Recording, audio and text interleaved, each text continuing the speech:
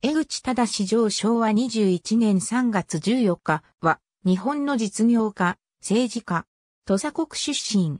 1887年東京高等商業学校卒、同校教諭に就任。その後、三菱合資会社入社。同社専務理事、幹事等を経て1920年同社総理事。1925年社団法人、女水会初代理事長。1931年6月、経営状態が悪化していた南満州鉄道の副総裁に就任し、経営の実務にあたるが、就任直後に満州事変が発生。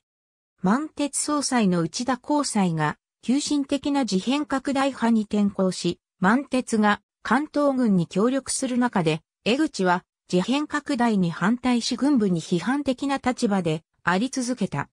民政党系の人物であったことから、1932年4月に声優会の犬飼内閣により突然罷免される。これは、満鉄の政副総裁が罷免された唯一の例である。内田交際満鉄総裁は、この罷免に抗議し辞表を提出するが、最終的には辞任を取り下げて総裁に止まった。同年、勅選の貴族院議員となる。